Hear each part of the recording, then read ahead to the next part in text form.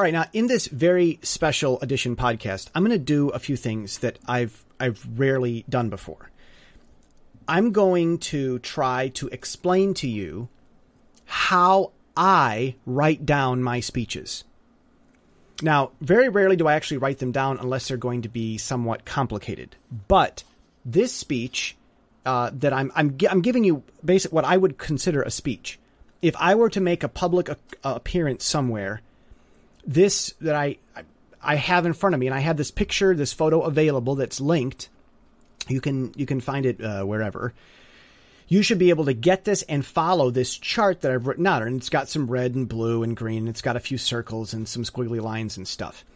This is how I outline my speeches, and at some point in the future, I may give a lesson on how I structure my speeches this way.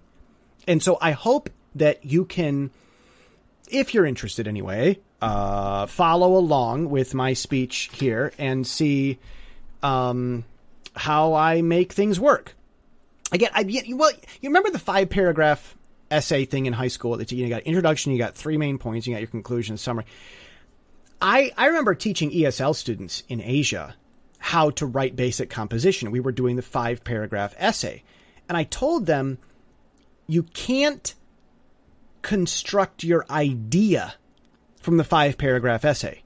You must construct your idea like uh, like a map first, or or like uh, different objects in a room, like like you're describing the layout of a room or a scene or something. You need to you need to have have a picture you're looking at or you're something you're describing. That's how you have to think of the idea you want to present.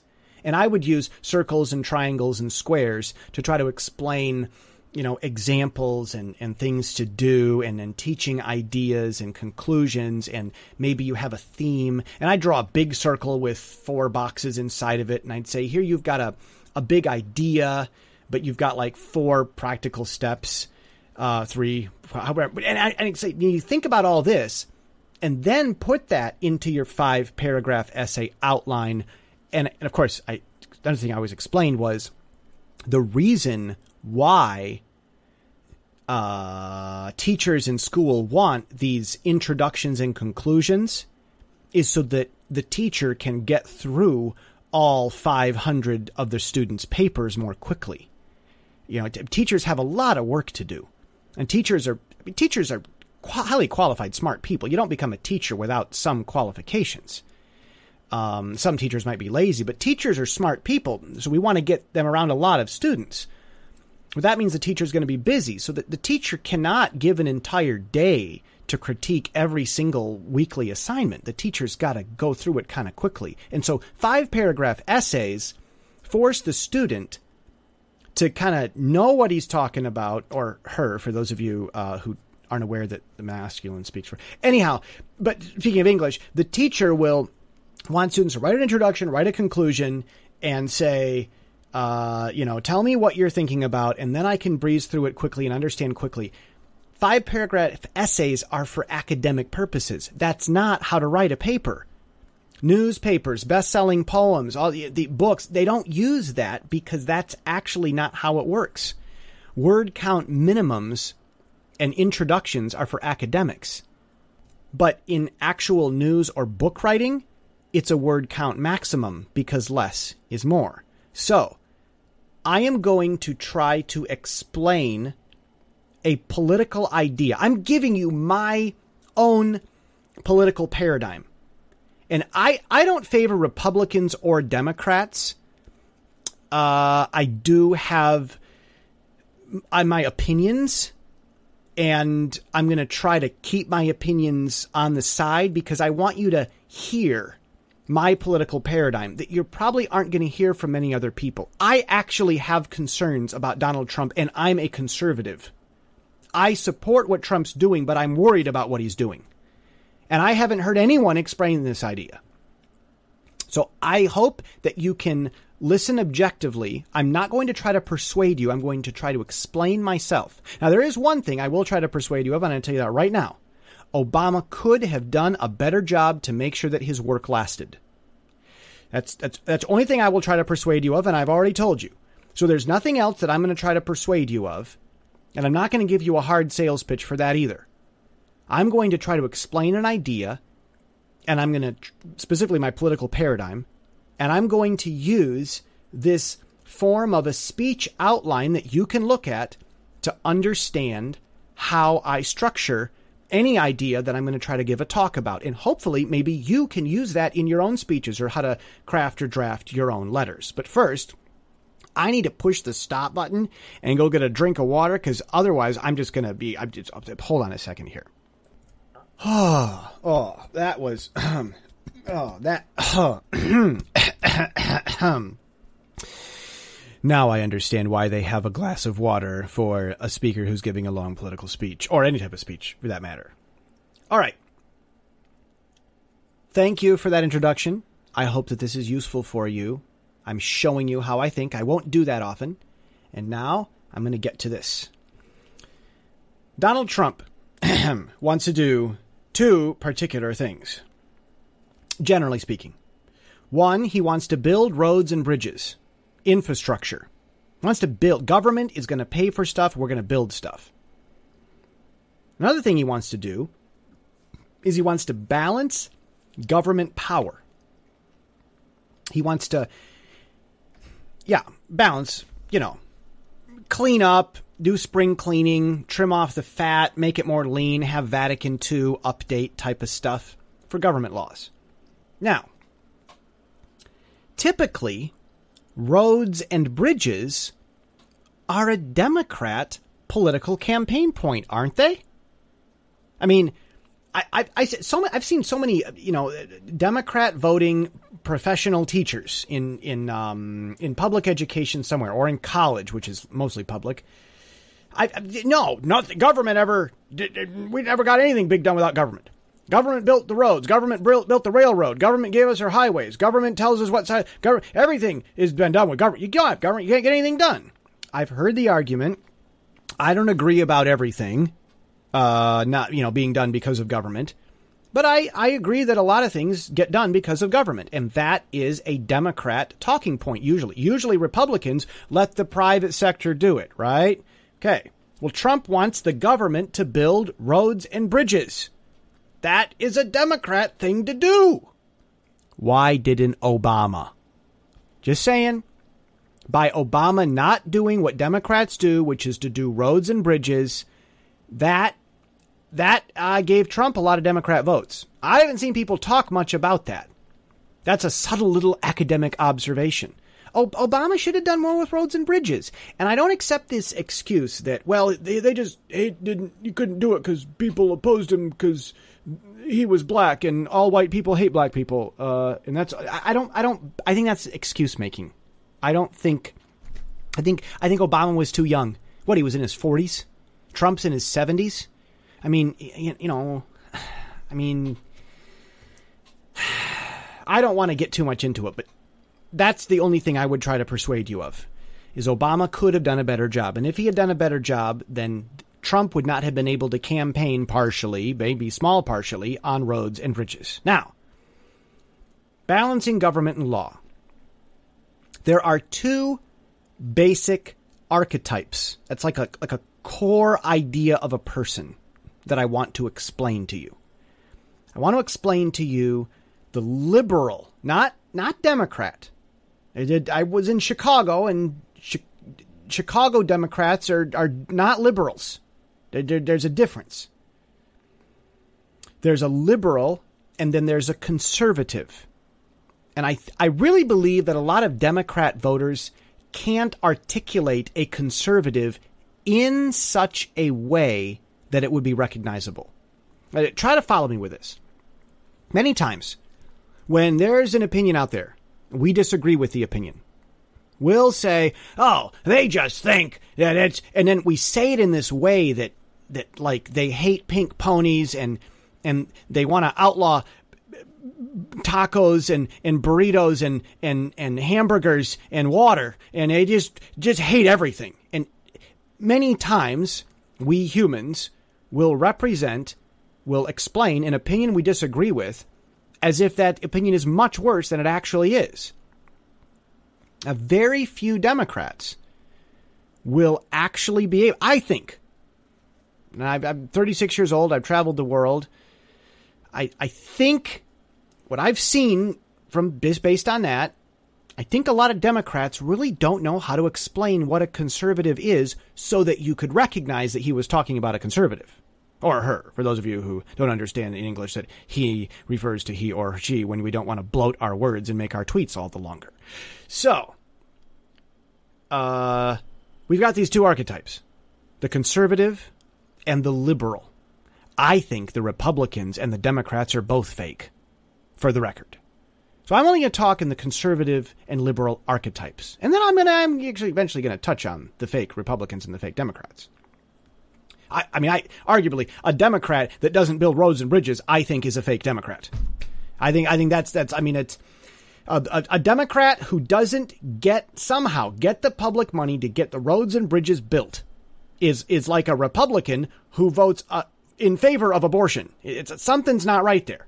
Democrats are supposed to build roads and bridges. I mean that's FDR, man. And I like roads and bridges, and I wish Republicans would build them. That's something that kind of bugs me. But I do know. I mean, I I remember being in college one of my professors talked about, he says, My son's a Christian and he's in college and he reads his Bible every day and his roommate's an atheist. And one day my Christian son woke up and was angry and went to class and his atheist roommate said, What? You're a Christian. You're supposed to read your Bible every day. You read your Bible every day. You got to read it today. He was like, What? Even my atheist friend is telling me that I have to keep acting like a good Christian? I feel like the atheist here, saying that Democrats are supposed to build roads and bridges. What happened? All right, okay. I don't want to go off on that too long. So here we have the conservative archetype and the Democrat archetype. No, no, the liberal archetype. Excuse me. I misspoke, and I'm not editing it.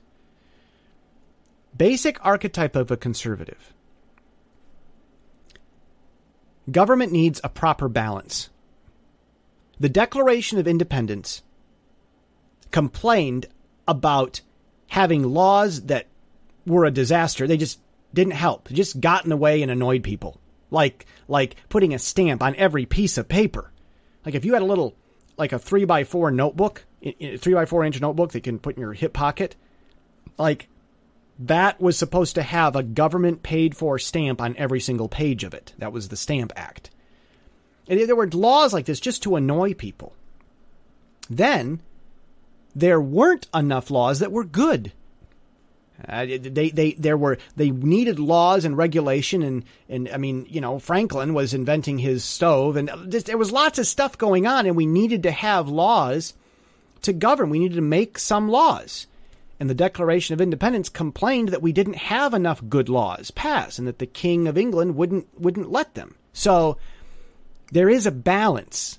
You need laws, but the laws need to be useful, accurate, not harassing and annoying. They need to be proper.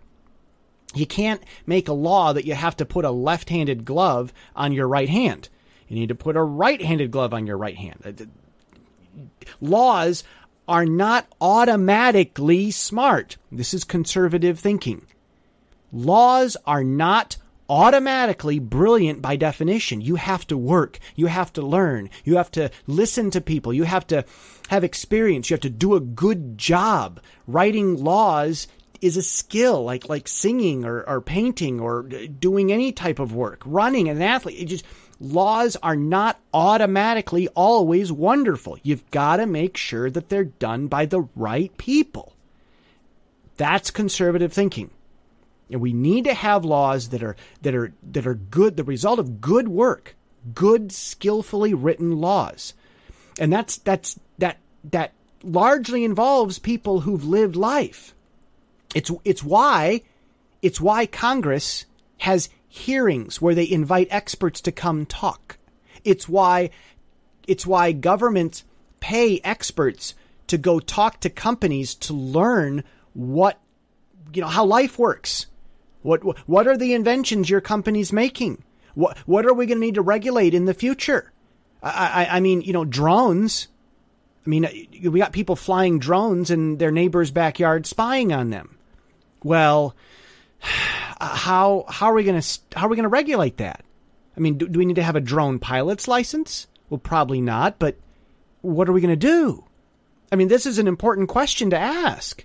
And, and you don't learn how to answer that question just by studying law cases and learning how to be a lawyer. I mean, if, if, if you want to know how to deal with drones, how to make laws for, for flying drones, you should probably live in a community with a lot of drones. So, we or you probably should talk to companies that use drones. Amazon wants to use drones to deliver packages to people. So, uh, laws are a skill. Making good laws is something that needs to be done by good work, and if we don't do a good job, we'll have bad, nasty, annoying laws that really mess things up for everybody. And you know something? When the people in government, when the lawmakers don't want to do a good job, when they're too busy playing their little corruption games, when they're too busy writing a law that'll keep their rich, evil friends happy, as opposed to their good, rich friends, which they probably don't have good friends. But it, I mean, when, when the politicians have their own little games going, hey, give me a million dollars, I'll write that part of the law you want. When they're doing that, they don't care about writing good laws.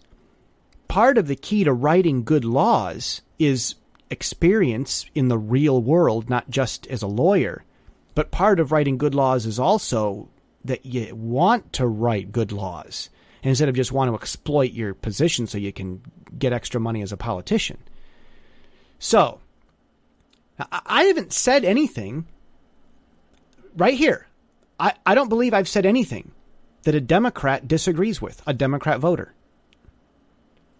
That's right. What I've been saying is the idea that motivates conservatives. That, that's that core idea. We need to have a proper balance, not too much, but not too little, government law. It can never disturb people. Second core concept of a conservative. I'm going to explain this idea briefly about the Second Amendment. There are three basic understandings of the Second Amendment that people have, and I prefer the third. I've never heard many people, not many people, talk about the third. Usually, Second Amendment is seen in terms of hunters being able to keep their guns. Then, we have this other idea that the purpose of having guns is so that we can fight the police. um, well, uh, that's a half truth. I, I, I think there's something to that. I mean, if if every home has a lot of guns, than then Nazi police, like a Gestapo style police situation, will be very, very difficult. There's something to that, but the purpose of guns is not so that you can walk down the street and shoot a police officer. Um, that's there. There's more to that. the The idea of of people owning large amounts of guns is so that a militia is able to organize under leaders that the state government appointed, not the federal government, and that, but those militia leaders can organize themselves just at any time. Okay, the state put me in power, and uh, that's it. Uh, we're militia. We're going to action, and they don't need any further. Um, of course, they're not going to do that much because the militia is made up of volunteers who are busy and have lives, and they'll only go if they really, really need to. That there's something to that. That's that's the argument for the well-regulated militia being necessary. Then we've got another issue. And this is something that I've seen living in another country for 8 years. I'm over here in China's backyard. And I don't know if you've seen the statistics that the largest army in the world is not China. I mean, largest government army in the world is China. The largest actual army with guns in the world is America's hunters. And the hunters in, in just one single state, choose you know most states, the hunters in that state alone, it's just a state, is oftentimes a larger army than most countries in the world. Most of them, not not the largest, but collectively, America's hunters are the largest army in the world. And when the Chinese are sitting in their intel briefing rooms and they're asking, how can we invade America? How, how, because countries are always, I mean, I, I, believe that the United States has theoretical, I mean, I, I don't have any proof for this, but as I understand, uh, you know, all of the large countries have a, a theoretical plan for invading every country in the world. The U.S. probably has plans for invading Canada. Uh, you know, probably just in case. Oh, oh, who invaded Canada? The North Koreans took over Canada. Well, we got to go invade and take it back. So they've already got the plans to, in case they. I think. I mean, okay, but so the Chinese, whether whether they're bad or whether it's routine, when they're discussing their inevitably predictable plans for invading the United States, they're always beating their heads against their desks, saying, "But what are we going to do about the hunters?" What are we going to do about the largest army in the world? Once we get into that country, they've got more guns and people than our military does. What are we gonna do? And that's an aspect of the Second Amendment that a lot of people don't mention. And that is part of conservative thinking about the need to have guns in the hands of good, honest civilians. Now, in my book, The People's Party, I explain that one of the important parts of the Second Amendment should be to have a militia training class in high school. Uh, but you know there are things we can do that need to address the Second Amendment. I, I don't I don't know that gun ownership should just be allowed for just anyone. I, I, I think that you should have to take a gun training class as part of high school, like you're required to graduate. Like if you don't take that class necessary to graduate from high school, then you're not allowed to own a gun. Uh, I I believe that sort of. So I don't want to get too long on that, but these are this is my archetype explanation of two basic matters of, of conservative thought. Uh, all right. George, the podcast observer, has suggested that I explain a little bit about the conservative pro life perspective. There might be pro choice conservatives. So I want to clarify that. Uh, I don't I don't want to get into fighting. I want to explain stuff. But since pro life is oftentimes a part of the conservative package, and there could be pro choice conservatives, of course, I understand that. I should probably explain the pro life perspective. there are many arguments for the pro life perspective. The pro choice perspective is about choice. Okay? A, they have their arguments. Um, the pro life perspective there's the moral perspective. Do we have the right to play God? Uh, it is murder or whatever, as as they explain, and as I happen to believe. I'm not trying to persuade you in this. I'm trying to explain. But then we've got another issue: birth rate. Taiwan has a declining birth rate. It's an economic problem. It's a big problem. Um, birth rates are a huge, huge problem. And the only people group I know of that's has a huge booming birth rate are Muslims from specific Middle Eastern ethnicities. When a people group ha- makes it that much easier to uh, decline your own birth rate, abortion does make it easier to do that. Um, your ethnic group, I mean, you've instituted a policy to slowly, slowly, slowly put your own ethnic group uh, into extinction. That is a problem. Now, we also have a familial problem. I remember in the 90s when the sex education curriculum tried to tell us that kids could not control themselves. And now we look at video game addiction and I say, hooey. If kids can discipline themselves to keep playing video games, they can, we can do stuff if we want to. People are able to achieve things. I mean, we have all these, we have so many stories all over the internet about about some kid that worked hard to get something done. I just saw a story the other day about uh, two African American, want to be called black. I'm being technical, so we're not talking about Africa. Two African American black uh, twin brothers, and and they would it was like a three one hundredths of a percent away from one being the valedictorian and the other being the salutatorian. It's like it was a success story. Wow, they got so much done because their mother wouldn't let them settle for less. You know, we we see all these stories about kids doing amazing things, yet we were teaching them in the 90s that they can't control themselves as far as sex is concerned? Really?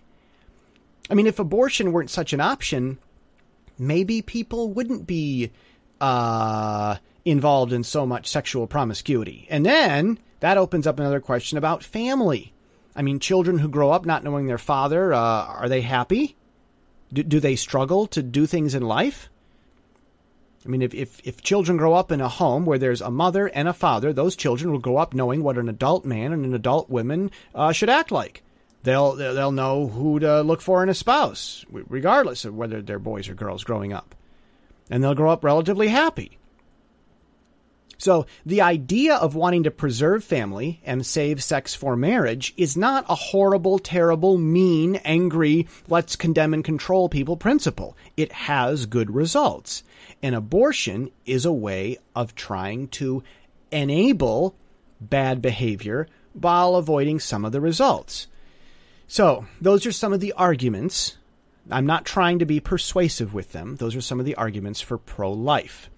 Uh, I don't, I don't want to persuade as far as that concerned. My only opinion in this is uh, that uh, Democrats should uh, build roads and bridges. That's the only thing I'd try to persuade you of. Obama should have built more roads and bridges. Now we've got the archetype of the liberal. I do not believe that this liberal archetype defines most Democrats. But this is the archetype. It's the core idea of the ideal perfect liberal.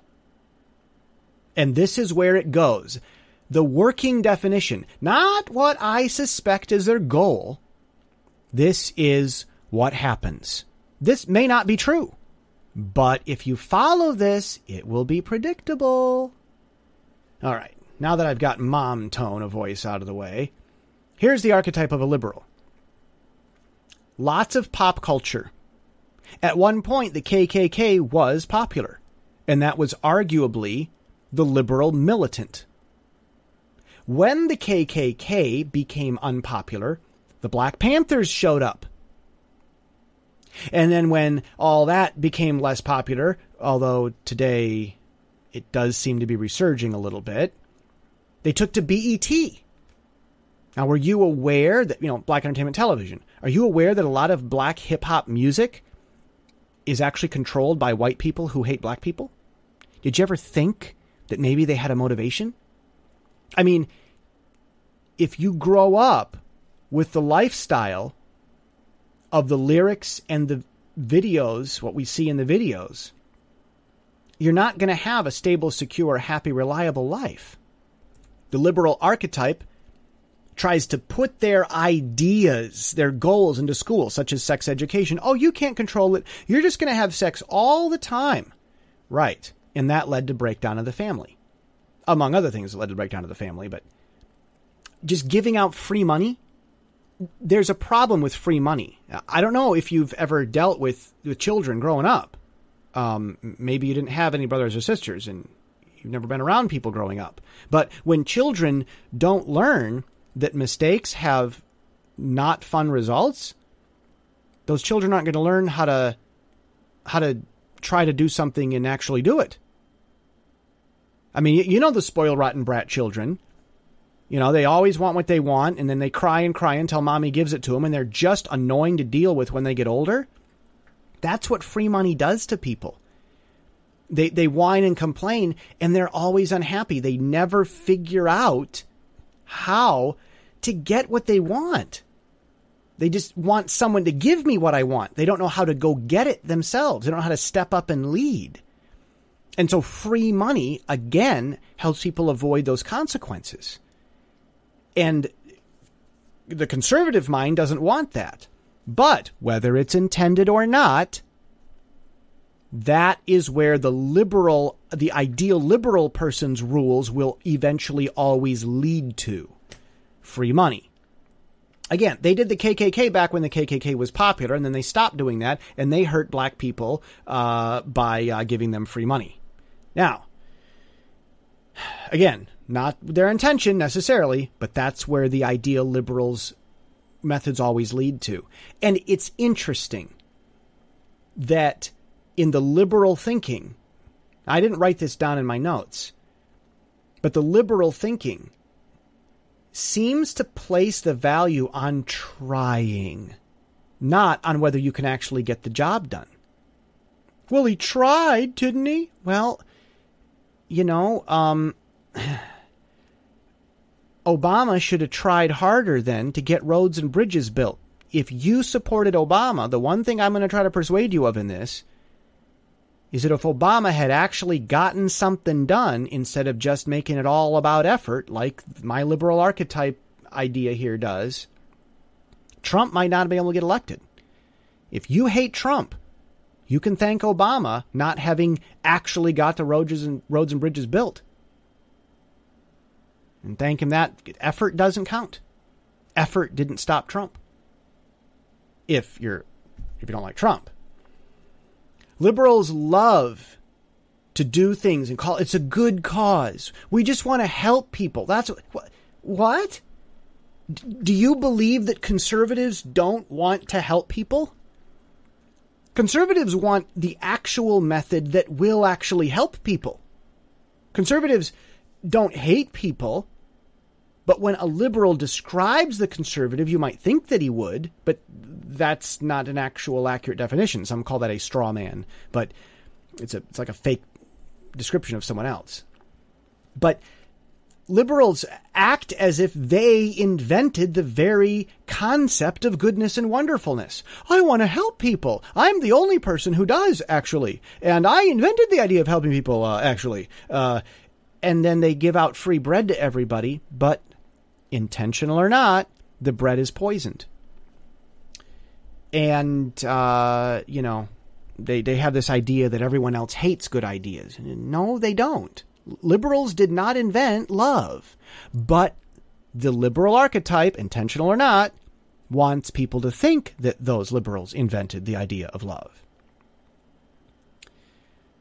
Well, then we get to the Democrats and the Republicans. The Democrats failed to build roads and bridges, even though that's one of their big campaign things. We need government because we got to build roads and bridges. Obama didn't do that. And when Democrats, the politicians get in power, here's what we end up with a lot of laws that are a mess. It's a law mess. The laws they write don't reflect reality. I mean, I, I have a very good friend on the south side of Chicago who is so happy that with the uh, with uh, the Affordable Health Care Act, also known as Obamacare, that he was finally able to get health insurance. But then he kept getting getting laid off from work, and his, his woman left him. It never occurred to him that that Obamacare gave his employers so much difficulty that layoffs were more likely. And he was upset that Trump got elected. It never occurred to him that bad laws were behind the trouble for his employer. And many liberals would say, oh, that's just an excuse. You're just trying to, they've got all the money they need. They're big and rich. They're a big company, right? Not necessarily. I mean, uh, General Motors one time declared only a $1 profit. Of course, that was creative accounting, but no. Money, no matter how big, is not infinite. If you've got a million dollars and then 100,000 employees, that's not a large salary for everybody. So, we've got uh, this law mess. We need to fix healthcare, but we need to do it the right way. That's what a conservative thinks. But what did the Democrats do? They did it wrong. Why did people vote for Trump?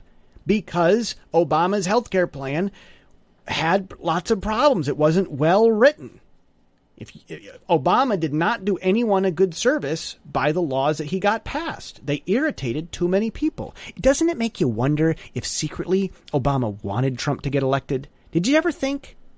Just, I don't think he did, but it's a thought. The other thing is, we don't have regulation where we need it. We've got a, we've got a big lawless mess. You had crime and riots increasing all over the country.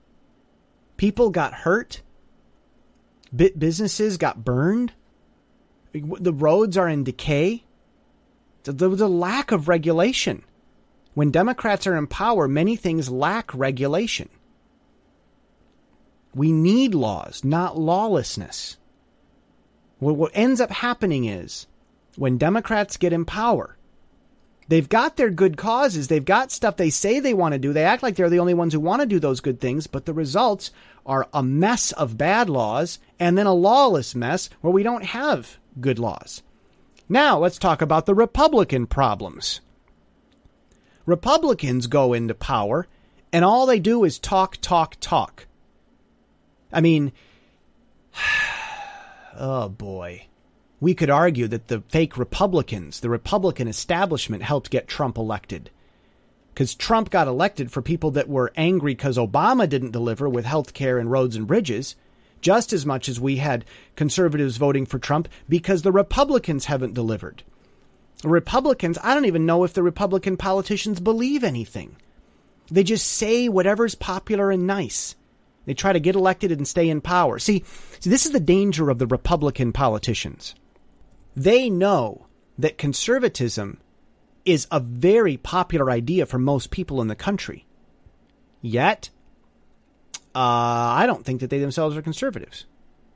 Instead, they take the idea that conservatism is a, such a popular idea, both in people who vote for Republicans and people who vote for Democrats, and they, they say these conservative ideas uh, but they actually plan to do them? No. No, they, they, they turn around and they go vote with, with the Democrats, and then it, nothing happens. Nothing, nothing, nothing gets done anywhere. All right. Um, I, I don't know what to say uh, about the, uh, the the problem with Republicans, other than that I don't think they are who they appear to be. And the last thing we want, I mean, Trump is going to go in and he's going to build roads and bridges. Trump knows how to build roads and bridges because that was his experience. I mean, he's built a lot of buildings very cheaply and he knows how to do it. So they're not going to be any $35,000 hammers on Trump's watch. At least not, not many. All that pork barrel stuff isn't going to happen. He's also going to balance government and law. He's going to do that. Trump is going to do a good job. And then what's going to happen? Those idiot Republicans are going to get power. And that is a huge danger because the Republican politicians are fake. So, yeah, I see politics in terms of having a conservative archetype that, that should be in, should include most Democrat and Republican voters and should include a lot of people that are pro life or pro choice this conservative idea. The concept of being conservative comes down to being conservative with the ideas uh, that that began the United States. Being conservative with, with, with the ideas behind the Constitution. You can change the Constitution. There are methods for changing the Constitution if we can all agree. But that's what conservative means.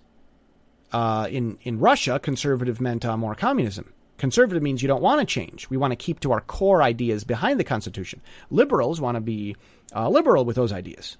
So I have these two ideas about the liberal and the conservative archetype. And then I have the fake Republicans and the fake Democrats as far as the politicians go. And I think the Democrats not delivering on their promises and the Republicans not delivering on their promises resulted in Trump, who's going to deliver on promises of Democrat goals and Republican goals and that's going to make the Republicans, his party, more powerful, and that's dangerous. That's kind of an interesting paradigm, isn't it? Don't hear that much. Well, there are um, a few ideas that I want to explain and a basic perspective. Some people have experience in business. They've tried, they've seen, they've succeeded, they've done They've gotten stuff done. From a business perspective, they've been a business owner. They've hired people, maybe. They've worked and done and seen. And then you've got other people who've only worked for another company. They, they've worked for a school. They've worked for a large, large factory. They've worked in as a, in a union job, maybe construction work. They've, they've, they've only had a job most of their lives. They, they, they were a manager at a restaurant. They, you know, you got people that actually start a business. He's the boss. He has to have the idea. He has to have the inventions. He has to have the skilled work himself. He has to make customers trust him. And then you've got people that have a job where they enter into another establishment. He's a plumber. He's in a union. He's in a guild. There's another perpetuating, maybe territorial, uh, guild type business like a plumber. Plumbers might have a guild. Don't be a plumber in my territory, maybe. Or, or they've worked for someone else in another establishment that they didn't create. And they have trouble seeing and understanding each other. The guys who've only known business have trouble understanding the people who've only had a job working for someone else or in another arena that someone else created. And the people who've only had a job working for someone else have trouble understanding the guy that wants to create the companies and the jobs that pay the taxes. And then we've got people who can understand both, who are few and far between. And of course, you think that I think that I understand both. I think I understand some of both, but I really want to understand more of both. I grew up mostly being in the arena where the job was already made for you, such as a pastor. I mean, a pastor is a type of job in an industry and a culture where he can go to seminary and he'll probably be able to find a job as a pastor somewhere. That's easy for him. I grew up with that. And I'm really trying to cut my teeth as an entrepreneur so that I can understand what it takes to actually get business going. They have trouble understanding each other. Now, here are a few myths when you've only known a job that was provided for you, you will tend to think that more government regulations means more protection and safety. It doesn't necessarily. They could be bad government regulations. Here's another myth. Many people think that the Electoral College, which is a republic, is unfair. I mean, what we had a minority of people, a small minority, not a big minority, not by a large margin, a close margin. We had a minority of people, a large minority, uh, elected the president against the will of the majority. Why is that? Well, um, that's because we live in a republic. Once the people of a state organize themselves to create their own state system of government and justice, they get a little extra credit just for doing that. If everybody wants to go live in the same state, they have a little bit less credit. Not much, but that's why there are two extra votes added to every state. That's to make sure that we live in a republic instead of a pure democracy. Because this is the, this is the third myth I'm addressing. People think some people think that democracy is fair. It's not. Democracy is not fair. Democracy is just tyranny of the masses. A democracy allows 51% of the people to commit genocide against 49% of the people. That democracy allows that. Do you want that? I mean, a lot of the people who complain about Trump having won the election on the grounds that it was the minority of the people who voted. That doesn't include all the conservatives and Republicans who stayed home in New York and California. And that doesn't include the illegal votes, this 800,000 estimate that favored Hillary, which could have flipped uh, New Hampshire possibly. Or maybe others. Even without that, saying that Trump had the minority vote and that therefore that's bad this argument comes from people who support minorities, right? I mean, all, all these, you know, the Democrats are the party for the minority rights, right? But all of a sudden, they want the majority to be able to decide whatever? Are you sure that's a good idea? Trump Trump didn't win because he was the minority vote. He won because we live in a republic where people have rights. And if you live in a state that's organized as a state and has its own stuff it's trying to do to look after its citizens, that state maintains certain rights, even if it doesn't have as many people as the cool, awesome beach city states. We live in a republic where the 99% cannot take away the rights of the 1%. And that's why sometimes someone wins an election with a near majority, a large minority, not, not a very small minority. That's something to think about. I, I don't I don't think that people who want to stand up for minorities should be upset that that uh, that that a, a very very large close minority was able to win an election. We live in a republic, so that the fifty one percent cannot order the death of the forty nine percent, as can happen in a true pure democracy where majority always rules. Democracy is nothing more than tyranny of the masses. That's why we need a republic where there's lots of democracy, but there's also certain rights per territory or state. Last myth. All walls are automatically always, always cruel. Um, no, they're not. They're not necessarily cruel. The question is how you build a wall. A border wall that Trump talks about and that was talked about in 2005 that I do believe Hillary even voted for. That wall would would would go through the middle of nowhere where bad dangerous people just run around. The wall that's being talked about at America's border is not like the Berlin Wall which went right through the middle of the road. Cut road. Road ends now. We got a wall here. Road's dead end. That was the Berlin Wall. People would go to work in the other country during the day and they drive home at night. It was Europe where countries are small. And they tried to go home, but there was a wall there. That's how fast the Berlin Wall went up. Now, how many times did the Democrats complain about Russia? Hmm? They didn't. The wall we're talking about has lots of doors. The wall we're talking about makes sure that people can go in and that it's a good place for them to go into.